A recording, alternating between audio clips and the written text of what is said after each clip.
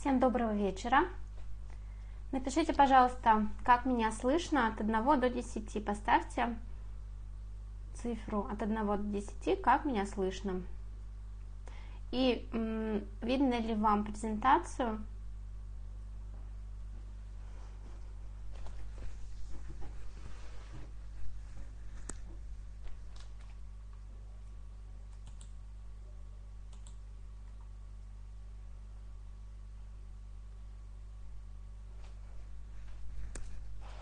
Угу.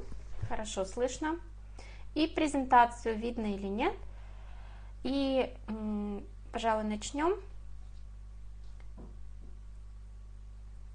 Да, все хорошо видно, отлично. Сейчас я себе налажу немножко тоже, чтобы все видно было. Итак, а, это один из последних вебинаров, который мы будем проводить в этом году. А, представлюсь, меня зовут Воронцова Екатерина. Сегодня я провожу вебинар на очень важную тему бизнес-планирование. Мы будем подводить итоги прошлого года и планировать новый. А, планирование вообще является одной из важнейших тем, а, а в бизнесе тем более. Почему? Ну, потому что без плана наши все результаты, если они будут, они будут стихийны, а возможно результатов в принципе никаких не будет, потому что планирование ключевой элемент – в достижении любых целей, в достижении любых результатов. А, сегодня а, мы, во-первых, поговорим о том, чего мы с вами достигли, чего не достигли 2018 год, каким он был для нас, и ответим для себя на несколько вопросов. Почему я все-таки останавливаюсь на этом? Потому что в э, спешке, в суете нашей, особенно предновогодней, мы часто не находим время на то, чтобы ответить для себя на такие очень важные вопросы. А, я э, сама, в принципе, готовя вебинар, не, не успела для себя ответить на эти вопросы и буду отвечать на них вместе с вами. А, почему? Потому что, ну вот, вот ну, не находит никак мы время на то, чтобы вот подвести итоги 18 и начать нормально 2019, ну, в смысле Новый год. А, а сегодня вот постараемся. А, всем добрый вечер, кто присоединился. А, итак, будем отвечать на вопросы. Все ли нам удалось реализовать?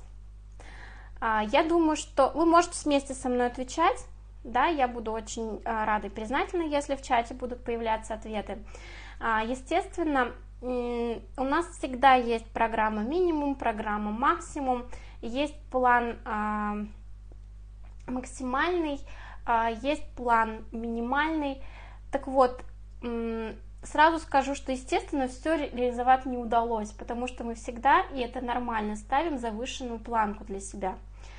А, надо понимать, что это нормально, и не надо, чтобы вас это смущало или заставляло переживать, надо просто сделать так, чтобы это заставило нас задуматься.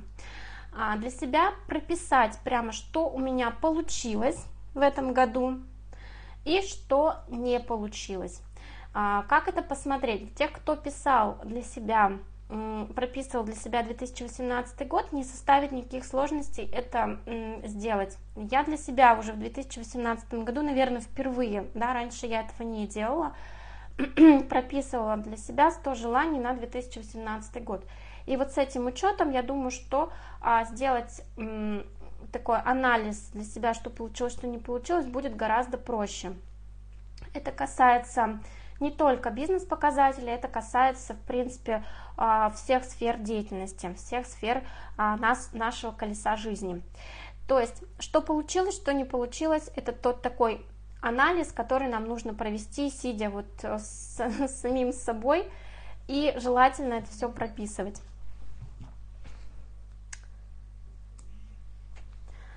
Так, секундочку. Кто-то у нас потерялся еще, сейчас догонит.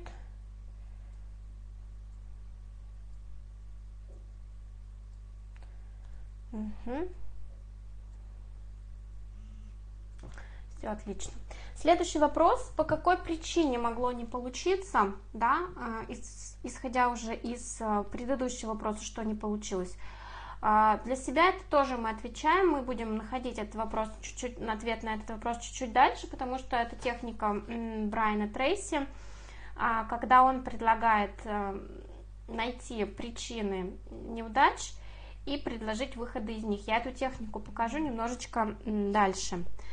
А, и пятый вопрос, что нужно сделать в 2019 году, чтобы все было по плану. Да, это, конечно, идеальный вариант. Ну, представляете, как будет круто, если в 2019 году все, что мы не запланируем, все действительно сбудется. Мы будем рассчитывать, что сбудется, поэтому 2019 год будем планировать с этим э, намерением, с таким настроем. Итак, я рассказываю про технику Брайана Трейси. Он а, дает а, это, в принципе, во многих своих работах а, просто она прослеживается такой красной нитью через э, множество его а, книг. Во-первых, а, что мы отмечаем, да, мы, а, во-первых, должны для себя понять, что в той точке, в которой мы сейчас находимся, все, что вот с нами не происходит, мы а, сами являемся причиной того, что с нами есть и что с нами на данный момент происходит. То есть сегодняшний результат, то сегодня какая, какая я, есть э, результат того, что я делала раньше. Поэтому вот в этой точке, в которой мы сейчас находимся, а, сейчас точка, да, такая очень для многих а, решающая, Новый год любят все, и с Новый год всегда идут с новыми мыслями. вот в этой точке надо как раз задуматься и понять, а, какие три самые большие проблемы стоят передо мной на сегодняшний день. А мы, естественно, давайте возьмем узкую тему, именно бизнес-планирование, потому что, естественно, колесо жизни у нас большое, у нас очень много разных целей и свершений. Но так как мы сегодня все-таки находимся на бизнес-вебинаре, да, будем затрагивать вопрос рабочий, вопросы рабочие. То есть какие три самые большие проблемы на сегодняшний момент передо мной стоят? По какой причине я не достиг того, а, что я хотел достичь. То есть вот вы можете прямо выписывать перед собой, потому что я, когда а, знакомилась с работами его, я выписывала для себя в блокнотик, в ежедневник вот эти четыре вопроса будет, а, на которые нужно будет вам найти ответ. Всего четыре, больше писать не надо будет. То есть первый вопрос, какие три самые большие проблемы стоят передо мной на сегодняшний день? Почему я не достиг того, а, чего я хотел достичь? Да? То есть что вам мешает? Что вам помешало, например, вырасти там вдвое, да, увеличить свои объемы? Следующий вопрос. Какие три самых лучших решения можно предложить для каждой из них? Да? Берем каждую проблему и для каждой проблемы придумываем решение. Ну, то есть вы сами удивитесь, как легко могут находиться решения для данных задач. Так, если я найду,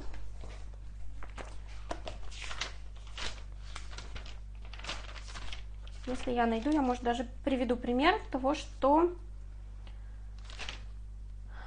нет, не найду. Не здесь, не рядышком.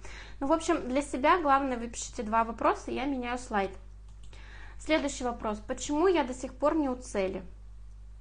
Да, вы отвечаете а, на этот вопрос, помня, что у вас наверняка была какая-то бизнес-цель, которую вы хотели достичь к концу 2018 года. Или достигли, или не достигли. Если вы достигли какой-то своей а, минимальной цели, то, естественно, вы применяете этот вопрос к цели максимальной. Почему не достиг цели максимальной? Если достигли вы максимальной цели, конечно, наверное, перед вами должны стоять уже другие вопросы. И четвертый вариант, как можно решить проблему. И здесь очень важно прописывать не какой-то один вариант, да, прописать именно 20 вариантов, написать 1, 2, 3, 4, 5 и до конца, до 20, и сесть и прописать их. Вероятно, ну, первые пять напишутся достаточно легко, но, по словам Брайана Трейси, именно первые пять являются не самыми интересными, не самыми применимыми. Самое интересное будет написано у вас 15, 16, 17, 18, 19 и 20. Да? То есть последняя пятерка это будет как раз то, что вы, возможно, искали. Поэтому сесть и сделать такой мозговой штурм очень важно, особенно в конце года. Поставьте, пожалуйста, плюсики, если вы меня хорошо слышите и понимаете, да, что я, у меня с связью все хорошо. Потому что в прошлый раз были определенные э, проблемы. Итак, мы с вами да, ответили на четыре вопроса, которые нам рекомендуют поставить перед собой известные бизнес-тренеры. Да, и проанализировали таким образом то, что с нами происходило до. Теперь мы с вами должны понять, что мы хотим в будущем, да, что я хочу в будущем году. И здесь, а, естественно, есть множество техник, и, и одну из техник я давала, наверное, месяц или два назад. А, мы давали технику постановки целей «Колесо жизни». И очень-очень подробно прямо выявляли, вычленяли ваше основное а, желание, основную цель, которая должна вас вести 90 дней, то есть квартал, ну, то есть в разные временные промежутки, в разные промежутки времени, которые мы берем для достижения цели. У нас каталог, у нас это может быть квартал 90 дней, у нас может быть год.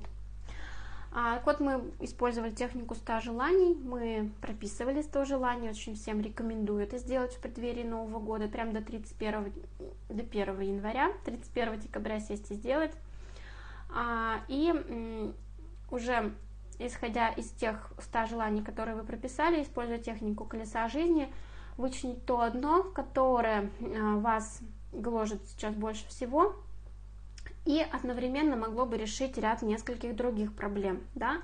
Мы такое желание обычно э, в бизнес-ключе, именно применительно к сетевому маркетингу, ставим, да, открываю, я в настоящем времени открываю от, от себя, да, в первом лице я открываю статус такой-то к такому-то числу. То есть это очень такая распространенная техника, которая используется при постановке целей.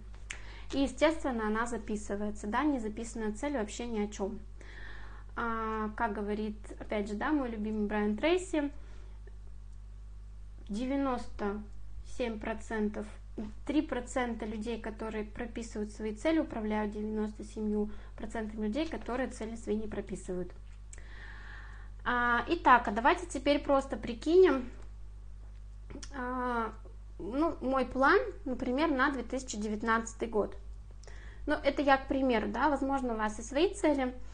А, моя цель, например, увеличить товарооборот структуры на 5000 баллов в году. А, кто хочет так же? Кто-то ко мне присоединится, может быть, мы вместе тогда будем считать. Кто со мной, кто ко мне присоединяется, пишите я. Будем вместе считать, как достигнуть этой цели к 2019 году. А вообще вот это вот планирование, оно очень часто нам без конца об этом рассказывают, рассказывают, рассказывают на всех семинарах, вебинарах и так далее. Но тем не менее, вот это надо повторять много раз для того, чтобы в голове отложилось и четко в любой момент времени, даже ночью, можно было сесть и просчитать, сколько и что нужно сделать для того, чтобы, ну, в данном случае съесть слона. Так, я жду. Кто со мной будет делать плюс 5000 баллов за следующий год? Диляра, все отлично, будем вместе. Я понимаю, что у кого-то планы гораздо больше, чем у меня, но, возможно, вот э, пока так. Угу. Итак, смотрите, да, 5000 баллов это слон, который нам нужно, которого нам нужно как-то вот одолеть, съесть, да. Ну, известную фразу мы знаем, для того, чтобы съесть слона, нужно его разделить на бифштексы. Да, будем делить слона на бифштексы. Это то, что нужно делать при организации планирования, это нужно делать а, на разные временные промежутки. То есть 5000 баллов у нас план за год, а соответственно, если мы смотрим дальше, то 5000 баллов у нас превращаются плюс 1250 баллов за 90 дней. А, понятно, что я сделала, да, я 5000 баллов разделила на 4, то есть 90 дней это квартал. У нас среднесрочный такая, такой план, это плюс 1250 баллов а, за 3 месяца. То есть уже не так страшно звучит, да, уже как-то более-менее. И смотрим дальше, во что превращаются у нас при более близнес, в, близ, в, близ, в общем, более близкой перспективе. А в более близкой перспективе это у нас 277 баллов за каталог. Что я сделала? Я 5000 баллов разделила на 18. Правильно я тебя посчитала, да? 5000 баллов мы делим на 18, и да, у нас получается 277 баллов. Все, значит, нам надо добавлять 277 баллов за каталог. Не, уже не так страшно, уже менее страшно, да, то есть мы уже разделили слона на бифштексы, и дальше мы будем планировать, что нам нужно сделать для того, чтобы э, эти показатели достигнуть. Итак, а, мы здесь работаем с основными бизнес-показателями. Понимаю, что многим это уже знакомо и уже много раз знакомо, да, но повторяю, особенно для новичков и для тех, кто не усвоил технику а, расчета плана. То есть как планировать. У нас здесь несколько основных бизнес-показателей, которые нужно иметь в виду. Первое – это база, база консультантов, то есть сколько у вас консультантов всего в структуре. Следующее – это процент активности, да, то есть сколько консультантов в структуре в среднем делают у вас заказ а, в процентном соотношении, отталкиваясь от базы, от 100%. То есть база это 100%, активные консультанты это процент активности. Третий у нас АК это активные консультанты, это те, кто сделали заказ, да, бальный. 4 а, НК это новые консультанты. И пятый а, средняя закупка. То есть, ну, их на самом деле очень больше показателей, намного больше, но мы берем те, которые нам необходимы будут так или иначе при расчете и плане нашего а, с вами восхождения к вершинам. Итак, 277 баллов за каталог, вы как видите, это, ну, в общем, как будто бы не так много, как будто бы много, да, на самом деле смотрим, что необходимо делать для того, чтобы это сделать. А, смотрите, здесь взяты, ну, такие не самые хорошие проценты, да, я же всегда беру по минимуму для того, чтобы было не так страшно, да, потому что кто-то говорит, это показатели нереальные, берем по минимуму, да, ну, среднечковое, а потом в зависимости от того, а, каким методом вы работаете, тоже процент может быть разный, да, и средние закупки, и процент активности, если мы берем холодный рынок, там поменьше будет, если мы берем теплый рынок, побольше, если мы берем вообще интернет, то там еще меньше процент активности новичков особенно, Поэтому берем усредненные варианты, ну, например, вы и на теплом контакте работаете, и из интернета приводите людей, и в среднем у вас активность 25%. То есть здесь из 10 у вас два с половиной человека делают заказ, да? А средняя закупка 20 баллов берем, да? Понимаем, опять же, здесь, что э, на что мы зовем человека? Мы зовем его либо на бизнес, а, либо на продажи, либо на покупки для себя. И если мы смотрим среднюю закупку среди покупателей, то она может быть, кстати, даже ниже. Да, есть те, которые и на 10 баллов, и даже на 6 некоторые делают, как им не рассказывать, да, про то, что у вас там выгодно сделать так и так, баллы копятся, накопительная программа, ну, есть такие, да, кто делает и на 6 баллов заказы, а, и есть те, которые продавцы, да, они делают и 50 баллов, и 100 баллов, есть те, кто пришел на бизнес, они однозначно делают 50-100, Поэтому, ну, берем среднюю закупку с учетом того, что покупать у нас больше, берем 20 баллов. Тогда 277. А, так, я сейчас прошу, если что-то непонятно, пишите минус. Я еще раз повторю. А если понятно, то плюс. Потому что расчеты, конечно, несложные, но, может быть, я объясню непонятно. А, всякое возможно. Поэтому повторю для тех, кому непонятно. Поэтому 277 баллов, которые нам нужно прибавить в каталог, мы делим на среднюю закупку 20. Для чего? Для того, чтобы выявить, сколько новых человек активных нам нужно в каталог, а, для того, чтобы получить увеличение товарооборота на 277 баллов. У нас получается 13,85 активных консультантов. Да? А округляем, пусть 14 будет обязательно в большую сторону, не в меньшую, для того, чтобы циферки не испортились, и чтобы у нас получилось не 275 баллов, а лучше 300 сразу, да, плюсом товарообороту. Так вот, учитывая процент активности, который мы взяли средний, да, а его вы можете, кстати, по своей структуре высчитывать сами, да, а смотреть за три предыдущих периода, например, или за три любых периода в течение года, какая у вас средняя активность по структуре. В отчетах это все видно. И смотрим, что 14 активных консультантов, исходя из активности нашей, это будет 25%, тогда 100%, делаем простую пропорцию, умножаем 14 на 100, делим на 25, это 56 новых консультантов в структуре нам необходимо в каталог. При наших показателях для того, чтобы прибавить 277 баллов в каталог. Вот как-то так, да.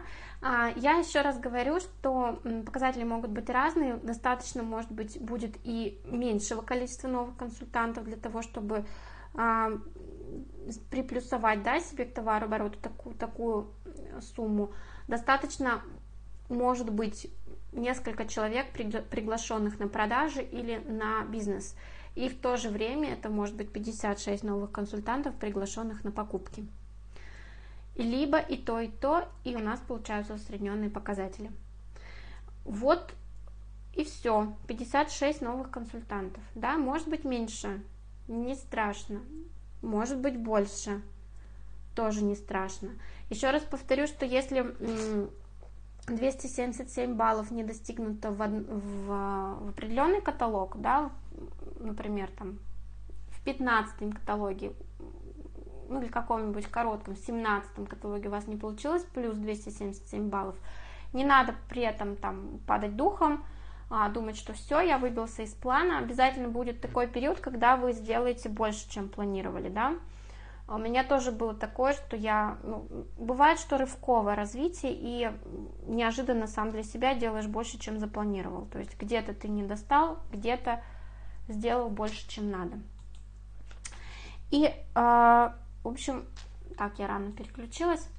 Здесь все понятно, поставьте плюсик, если все понятно. Так вы можете распланировать а, свою, свои результаты, свои показатели. Точно так же берете ту сумму баллов, на которую вы хотите прирасти, а, делите эту сумму баллов на бюштексы вначале на делите вначале на 4, чтобы увидеть, да, в среднесрочной перспективе на 90 дней, сколько вам надо прирасти, потому что а точки отсчета у вас все равно должны быть не только каталог, да, но и квартал. Почему? Потому что я объяснила, что 277 баллов вы можете не делать в одном каталоге и сделать в другом. То есть где-то не достает, где-то больше. Но для вас должно быть отметкой вот этот квартал. Все замечательно, все понятно. И здесь секретов, в общем, никаких. Здесь все понятно, все ясно, и высчитываем по своим показателям. Ну, буквально каждый день можно высчитывать и посмотреть при разных показателях, что у вас получится, и выстраивать таблички для себя. А сейчас я расскажу немножко интересную тему, которую приготовила, э, так скажем, наконец потому что вроде как с планированием понятно, с подведением итогов все понятно, но еще одно, а, одна вещь – бизнес-план, да, мы очень часто сталкиваемся с этим словом, особенно ну, в линейном бизнесе, потому что там без этого никак, без планирования, без бизнес-показателей тоже никак. А, если ты заходишь в бизнес, у тебя должен быть бизнес-план – и как-то мы вот на второй план в нашем именно сетевом маркетинге убираем вот этот вот бизнес-план, бизнес-планирование. А, что такое общий бизнес-план? Это всестороннее обоснован, обоснование проекта и среды, в котором он реализуется, а также оценка эффективности методов управления, способствует достижению поставленных целей. Это понятие из линейного бизнеса. А теперь мы будем его использовать применительно к нашему бизнесу и думать, как а, создание вот такого бизнес-плана – может стать инструментом для рекрутинга. А что такое вообще бизнес-план? Это система, да, это документ, а, который может быть как внешним, так и внутренним. Внутренний документ это вот для себя компания, например, организует, да, для того, чтобы самому проверять и анализировать эффективность тех или иных мероприятий, смотреть баланс, следить за приходом, расходом в рамках своего бизнеса. Есть внешний бизнес-план. Это тот бизнес-план, который используется для привлечения инвестиций в бизнес, да, для того, чтобы брать кредиты, потому что без четкого документа под названием бизнес-план кредитоваться бывает в линейном бизнесе очень сложно. А, и состоит он у нас из нескольких частей. Они могут быть немножечко изменены местами, немножечко, может быть, а, изменено их название пунктов, но в целом, а, сколько я не смотрела, какие бизнес-планы существуют, они располагаются, ну, то есть вот так. Первое это резюме. Чаще всего в резюме здесь не только план последующего бизнес-плана, но чаще всего обосновывается актуальность выбранной сферы деятельности. Почему? Потому что именно с этого начинается с обоснования проблемы, над которой стоит на сегодняшний момент. А, да, кстати, я вот не сказала, для чего это все говорю. А, я предлагаю нам создать бизнес-план, да? Почему? Потому что в линейном бизнесе это распространено, а у нас как-то не очень. И этот бизнес-план должен быть именно для вас, именно ваш, под вашу целевую аудиторию. И поэтому вот немножечко расписываю сейчас структуру бизнес-плана и применяю ее к сетевому маркетингу. Может быть, кому-нибудь как раз стукнет идея в голову создать такой бизнес-план для себя и предлагать ее бизнес-партнерам. Не просто там показывать маркетинг-план, который у нас есть, а именно свой бизнес-план, потому что ну, столько у нас разных способов работы, столько у нас можно достигнуть, но нет практически никаких планок и ограничений, что прописание подобного документа применительно к сетевому маркетингу было бы классной фишкой. А, по крайней мере, я это сделаю и попробую, как это будет работать. А, итак, резюме – это у нас обоснование актуальности проблем. Применительно к сетевому маркетингу мы можем, конечно, здесь расписывать а, то, что привлекает покупателей и то, что привлекает тех, кого мы берем в качестве партнеров.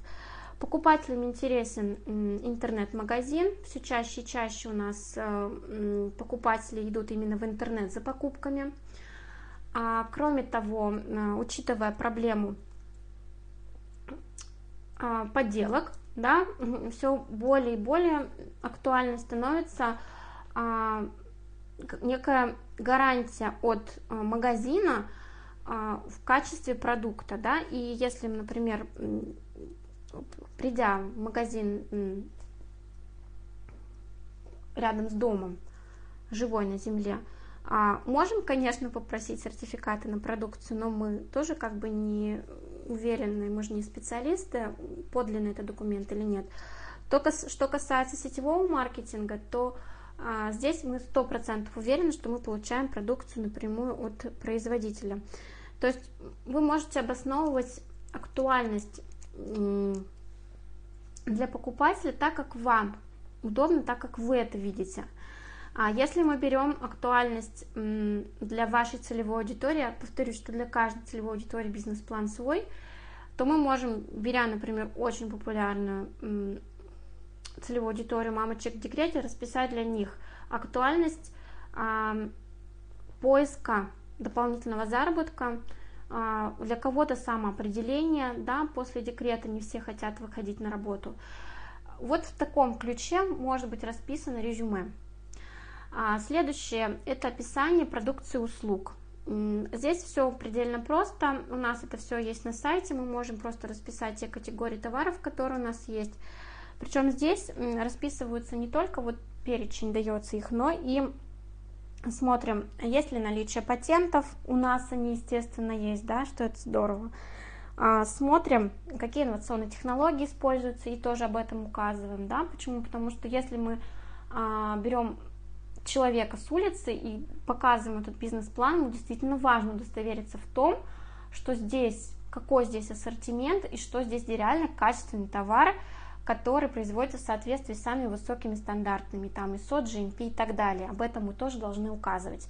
И не помешает, конечно, указать те премии, которые удостоен продукт.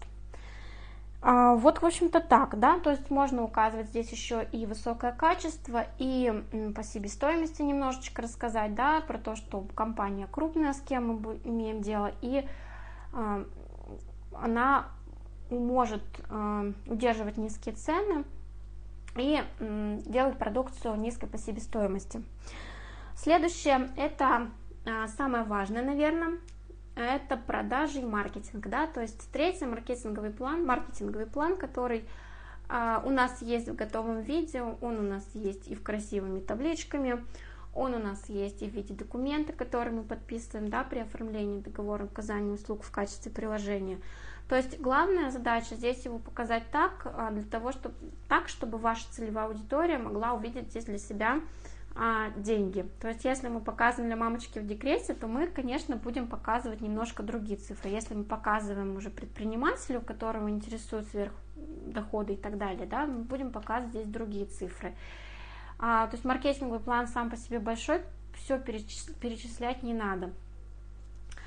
Следующий, четвертый производственный план, который, в принципе, да, в линейном бизнесе вещь необходимая, у нас вот не знаю в какой степени, скорее, наверное, подойдет он в том случае, если мы открываем пункт выдачи, потому что именно в производственном плане здесь все схемы, посредством которых мы будем эффективно, да, а, строить товарооборот на пункте выдачи. Ну, в принципе, его можно использовать и для работы со структурой. А, здесь можно как раз для пункта выдачи прописываться местоположение, оборудование, сотрудники и так далее. А, и сюда же прописываются в производственный план данные о расходах и других затратах, которые будут произведены, да, чаще всего в табличном виде. Следующее пять это организационный план, то есть здесь, да, применительно к нам, если мы берем линейный бизнес, то здесь будут прописываться персонал, кадровая политика фирмы, сотрудники, правовое обеспечение деятельности, а, график работы, штатный состав, календарный график реализации проекта. А что касается нашего, нашей деятельности, то здесь мы можем просто расписывать организацию, систему организации структуры, то есть как мы строим партнеров в системе. А, это и есть, в общем-то, организационный план, да, кто у нас есть, что у нас есть консультанты, что у нас есть продавцы, что у нас есть а, бизнес-партнеры. То есть раз, квалифицировать тех людей, которых мы приглашаем в структуру. А, куда-то, да, очень важно еще пункт плана описание рынка сбыта, да, конкретно целевую аудиторию. Ее можно, кстати, поместить либо перед маркетинговым планом, либо куда-нибудь рядом с резюме. Да, здесь этого не написано, но тоже, очень важная тема именно описание рынка сбыта, то есть целевую аудиторию. То есть тому, кому мы будем предлагать, очень важно понять, что целевая аудитория есть и что она э, будет заинтересована в предлагаемых нам, нами услугах и товарах. Следующий очень важный документ – это финансовый план. И опять же в линейном бизнесе один из самых важных, важных, важных. И у нас тоже важен как раз то, что мы с вами считали, а мы с вами считали не что иное, как нашу зарплату. А, ну, зарплату это я сказала так, да, для того, чтобы было понятнее, так наш а, доход – Плюс 5000 баллов, это, естественно, не просто плюс 5000 баллов, это деньги. И, естественно, уже отталкиваясь от того, а, какие деньги нам нужны, мы строим финансовый план для себя. И небольшой бонус для тех, кто присутствует на сегодняшнем вебинаре, я готова вам скинуть а, табличку построения финансового плана для себя, а также табличку по чек-листу работы консультанта на Фаберлик на каталог. Для тех, кто хочет получить подобные материалы на почту, вы можете написать либо вопросы, либо, ну, лучше вопросы, свою электронную почту, и материалы я вам скину. То есть, во-первых, ведение своего финансового плана личного внутреннего и чек-лист консультанта для того, чтобы э, поэтапно и пошагово э, вести свою работу. точно знать план свой на каталог, на неделю, на день, самоконтроль ежедневной активности, итоги работы по, по итогам каждого из, из эм, этапов, этапов промежутка времени.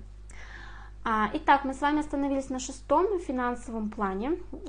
Здесь, естественно, у нас прогнозируемый финансовый результат, это то, о чем я говорила, да, то есть что нам конкретно нужно будет чего мы хотим достигнуть. Здесь обычно прописывается схема движения денежных средств. Естественно, это важно, да, если мы проводим какую-то платную рекламу, а, мы смотрим, если в нее отдача, если мы вкладываемся в продукцию, да, в подарки, в каталоги. У нас, естественно, кое-какие вложения есть. А, вот эту схему движения средств, финансовый план тоже можно прописывать, да, чтобы человек не думал, что здесь все прямо вот за тебя сделают и ни во что не надо вкладываться. И м, прогнозируемый баланс, ну, это, наверное, для предприятия больше м, применимо. Для нас все-таки, наверное, м, схема движения денежных средств и прогнозируемый финансовый план. Здесь мы можем прописать Естественно, мы прописываем его не для себя, а для того человека, которому мы предлагаем бизнес. То есть мы прописываем разные суммы, а, в какой промежуток времени чего может достигнуть а, конкретный рекрутируемый человек. И надо понимать, что бизнес-план здесь может быть у вас не один. Да, это я еще подробно скажу. И седьмой пункт – риски и гарантии. Риски чаще всего связывают именно а, с а, финансовыми вложениями, в связи с тем, что финансовые вложения у нас здесь минимальны, чаще всего, да, если мы не говорим о какой-то дорогостоящей, очень дорогостоящей рекламе, а, или там покупки недвижимости, да, для того, чтобы там открыть, скажем, пункт выдачи. Ну, это я просто уже так утрирую, но действительно риски здесь у нас минимальны. Почему? Потому что нет этих финансовых крупных вложений. А в линейном бизнесе, в бизнес-плане, здесь я просто прочитаю, прописываются а, методы снижения рисков, помимо прочего, да, анализ рисков и финансовых потерь. И если сумма вложений достаточно высокие, то здесь прилагаются экспертные оценки при экспертные оценки при больших финансовых вложениях. А, гарантии, ну, гарантиях очень сложно говорить, да, э, надо просто дать понять, что при четком соблюдении планов а, и при четком, четкой работе с душой, сердцем определенных а, результатов можно достигнуть в рамках указанного нами бизнес-плана. Еще кстати, можно делать определенные приложения к бизнес-плану, прикладывать определенные копии документов, а, справочную информацию. Можно прикладывать документы, характеризующие компанию, да, если мы говорим о компании. А, прикладывать документы, касающиеся того, что компания, например, находится в топ-50 на 26 месте а, по версии РБК в 2018 году по темпам роста, да, опережая, кстати, детский мир и компанию Лента. Да, почему бы не показать эти данные в приложении? Кроме того, компания находится в топ-100 косметических компаний мира, единственная в России. Компания находится в 500 крупнейших компаний России, о чем тоже можно упомянуть. То есть вот эти все данные указывать можно в приложении. Следующее, о чем я хочу сказать. Вот мы сейчас с вами рассмотрели вообще структуру бизнес-плана и как этот бизнес-план из линейного можно превратить а, в бизнес-план для сетевого, для того, чтобы с помощью, не просто так, да, естественно, не просто для себя прописать, а для того, чтобы это был инструмент рекрутинга. А, что нужно помнить? Несколько вещей для того, чтобы он был вот этот вот созданный вами бизнес-план эффективным в рекрутинге? Во-первых, нужно понимать, что он должен быть точным и определенным.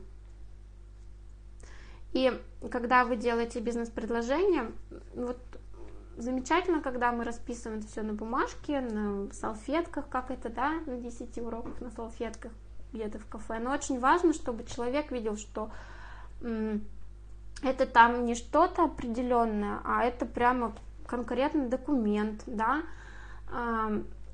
и именно сформированный четко и конкретно бизнес-план, распечатанный или в электронном виде, дает человеку определенную степень доверия к вам, как партнеру и наставнику, что вы ведете человека не в лес, в тундру, да, непонятно куда, без определенной цели, а конкретной цели, и он видит вас, наставника, готового вам доверять и точно знает, куда вы его ведете. Да, это маршрутная карта. Бизнес-план можно назвать дорожной картой или маршрутной картой. Ну, даже не назвать, а сравнить с ними, да. Что необходимо еще помнить? Он должен предлагаться не просто так на бум сверху свалить на человека бизнес-план, да, а, подружки, например, своей, а предлагаться он должен как вариант решения проблем рекрутируемого. То есть очень важно, чтобы он преподносился а, как уже с, после выявления потребностей человека. То есть мы должны знать, что он хочет, к чему он стремится, что ему надо, и предъявлять, и подавать его как метод решения его проблем. Да? Если мама в декрете, я буду на них говорить, самый распространенный пример, как обычно, а, хочет, например, да, дополнительного заработка, нам скажем, полтора года уже ребенку исполнилось, нужны деньги, то мы, естественно, предлагаем бизнес-план как вариант решения ее проблемы. Да, написан он должен быть под нее, то есть под, точно под целевую аудиторию. И весьма вероятно, что у вас может быть не один бизнес-план, а два или три. А, потому что если мы покажем маме в декрете 1 миллион рублей через год, она, естественно, не поверит, отвернется, уйдет или посмеется. А если мы покажем предпринимателю, у которого есть свой уже бизнес, да, какой-нибудь, 50 а, тысяч рублей через год, он тоже посмеется, отвернется от вас. Потому, почему? Потому что ему не интересны эти деньги, ему интересна сумма в несколько раз больше и поэтому бизнес-планов может быть больше. То есть финансовый план вы уже пишете, а, исходя из э, возможностей, нет, исходя из запросов целевой аудитории, вот так. И следующее, последнее, что надо знать, бизнес-план должен быть изложен доступно и кратко, и красиво оформлен. Никто не будет читать бумажку, написанную от руки сейчас уже, да, нужно, чтобы она была либо в распечатанном виде, либо в электронном виде очень удобно хранить где-нибудь на серверах в облаках и отправлять просто ссылку для того, чтобы человек мог с ней ознакомиться. А, вот так, да, можно предлагать бизнес-план как инструмент рекрутинга. А, предлагается даже использовать технику Алана Пиза, когда человеку показывают 10 а, вариантов а, того, что можно, что важно для человека, да, и что есть в сетевом маркетинге, задать вопрос относительно того, насколько важно ему это, почему он считает, что это важно, и потом преподнести один из вариантов бизнес-плана как после таких откровений, да, как вариант решения его проблем. А, вот так, да, я коротко осветила то, что мы должны сделать в 2018 году по Брайану Трейси, ответить для себя на вопросы, проанализировать, ответить для себя на 4 вопроса, прописать вот эти 20 методов решения проблемы и найти 15, 16 или там 13, да, не знаем, какой реально будет самым интересным. Прописать и проводить 2018 год а, и думать уже о 2019. Да, прописать для себя новые цели, прописать для себя ту сумму баллов, на которую мы хотим прирасти, с учетом своего личного финансового плана, потому что у каждого он свой. Еще раз повторю, а, это не повторю, это скажу, а, мы должны, подытожим, в 2019 году вступить уже с, первое, своей основной целью, которую мы ставим в соответствии с техниками постановки целей. Если она у вас не связана с бизнесом, вы, конечно, можете прописать цель, не связанную с бизнесом. И прилагается, да, приложение к цели 100 остальных желаний, которые бы вы хотели достигнуть. А, есть очень интересный вариант работы с этими, а, с этой сотней желаний. Выписывать из нее примерно по 15-20 не все, да, например, выписывать на первые там 90 а, дней, выписать для себя 25 желаний и, на, и реализовывать их в первом квартале. Соответственно, если вы их реализовали, мы их вычеркиваем и что-то записываем из оставшихся 100. И таким образом потихонечку, да, в течение года зачеркивать что-то из этих 100 желаний. А, с этим понятно, я думаю, да, то есть мы с вами вступаем в 2019 год, четко зная, что мы хотим добиться. Следующее, 2019 год, мы вступаем с четким планом достижения цели, со своим внутренним бизнес-планом. А внутренний бизнес-план, это значит, что мы для себя, в первую очередь для себя прописываем а, что и как будем делать, что мы сделаем, да, и как мы это сделаем, то есть методы и последовательность действий, что зачем. А, и третье, что, в общем-то, желательно, да, и интересно попробовать, это создать внешний бизнес-план для рекрутинга. Скажите, пожалуйста, может быть, у кого-то уже есть этот внешний бизнес-план, и кто-то уже пробовал рекрутировать таким вот образом, а, созданный именно либо в, электрон, в электронном виде для того, для каждой из целевых аудиторий. А, технику я узнала на самом деле из вебинаров Uberleague Pro, да, о том, что вот такой вот бизнес-план для рекрутинга иметь очень важно. Если у вас он есть, вы можете поставить восклицательные знаки, а, мы спросим вас, да, работает он или нет, как работает, и предлагаете ли вы его кому-нибудь. В общем, вот так, да, а, цели и бизнес-планы для себя, внешние и внутренние. Вот так мы будем вступать с вами в новый 2019 год. А, я жду во вкладке «Вопросы» вашей электронной почты для тех, кто хочет получить а, чек-лист консультанта и табличку для финансового планирования собственного.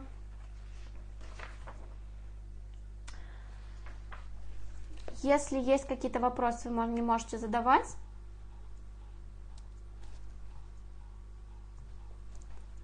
Во вкладке «Вопросы» жду. Если вам необходимо, напишу.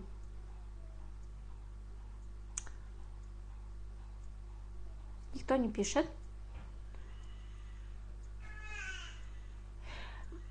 Всем спасибо, всем, кто присутствовал сегодня на вебинаре. А, данный вебинар будет в записи и будет выложен а, у меня на канале на YouTube в открытом доступе. Также вы сможете его просмотреть при необходимости. А, Вряд ли мы, конечно, встретимся уже в этом году, потому что вебинар уже последний. Я всем, конечно же, желаю чудесного и сказочного Нового года. Пусть вам 2019 год принесет море новых эмоций, друзей. А, пусть совершаются только хорошие дела, пусть а, у вас будет успех в вашем бизнесе. Я уверена, что те, кто сюда зашел, уже смело и уверенно стал на тропу ведения своего собственного дела. Всем желаю любви, здоровья, исполнения заветных желаний. С вами была Катерина Воронцова. Отключаюсь.